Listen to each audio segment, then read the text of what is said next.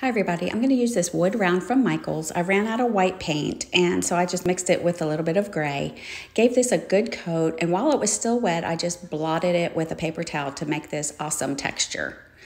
Once it was dry, I put this stencil on and I made this on my Cricut. Um, I thought it was so cute and I'm going to be painting inside of the bunny with some acrylic paints.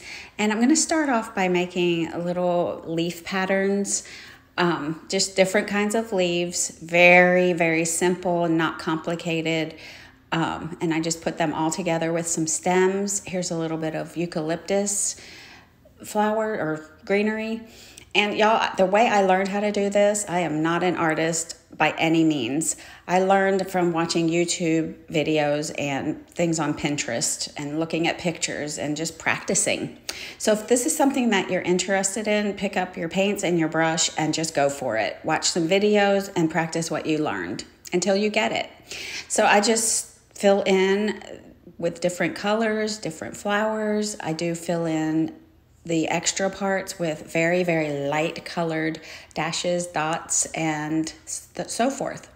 Once I'm happy with it, I just peel up the stencil and go around him with that light gray color. And then I'm going to take different color greens and make some squiggly lines to represent blades of grass. And then I'm going to put some paint on a wet paper towel and blot that on the background just to give it some more dimension. Guys, that's it for this video. I hope you like it. Here's a close-up of all the details. And I do hope that you will pick up that brush and some paints and practice if that's what you want to do. Thanks, guys. I hope you like this. Don't forget to share. And I appreciate you so much. Have an awesome rest of your day.